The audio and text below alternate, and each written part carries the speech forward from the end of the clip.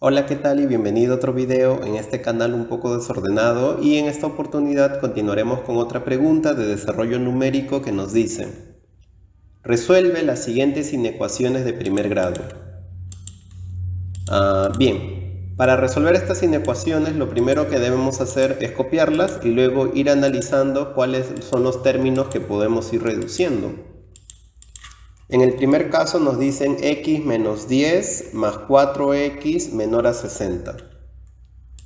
Esa es la primera inecuación. Ahora, podemos reducir el 4x con x. 4x más 1x es 5x. Ahora, para reducir el 10, sumo 10 a cada uno de los lados. Menos 10 más 10 se elimina. 60 más 10, 70. Divido ambos lados entre 5 y aquí también entre 5. 5x entre 5, 5x entre 5 nos da tan solo una x. 70 entre 5 nos da 14. ¿Qué quiere decir? Que 14 es menor a, que x es menor a 14. Allí escribimos el conjunto solución entonces, conjunto solución y sería abierto. Como es menor a 14 significa que viene desde, desde menos infinito hasta 14, en ambos lados abiertos, porque tan solo es menor, no es menor igual, es menor. Ya está, esta sería la respuesta, este sería el conjunto solución. Nada más. Vayamos con la siguiente. Siguiente nos dice, la copiamos primero, nos dice 5x más 5 más 5x menor o igual que 195. Ya está. Allí reducimos los términos que sean semejantes. 5x más 5x, ¿cuánto nos da? Nos da 10x. Ambos lados le resto 5 para deshacerme de ese número 5 que está allí, para reducirlo. 5x, díjame, más 5 menos 5 se eliminan, 195 menos 5 es 190, ambos lados los divido ah, por 10. Aquí está, dividido por 10 y dividido por 10.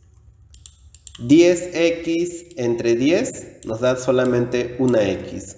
190 entre 10 nos da 19. Entonces x es menor o igual que 19. ¿Qué diríamos aquí? El conjunto solución y comenzamos a escribir. Sería abierto.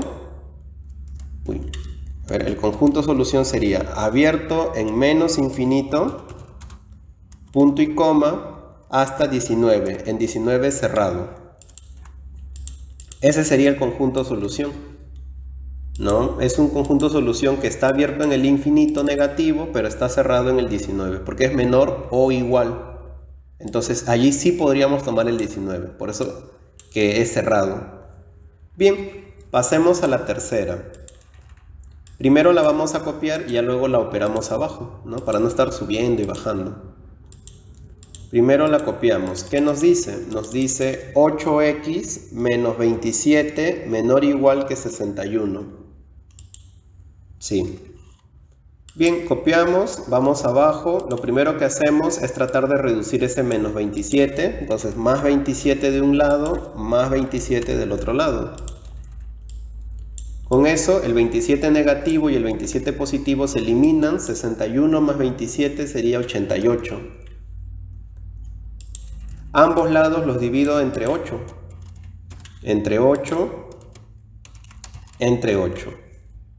8x entre 8 nos da simplemente una x. 88 entre 8 nos da 11. O sea que x es menor a 11. El conjunto solución, ¿cuál sería? Sería abierto en menos infinito hasta 11, también abierto. ¿No? En este caso es un conjunto solución conformado por un intervalo abierto. Ya está, esa sería la respuesta. Bien, espero que la pregunta y el video se hayan entendido, que sigas visitando el canal, que sigas encontrando más videos de tu preferencia. Nos vemos en una próxima oportunidad. Chau, chau.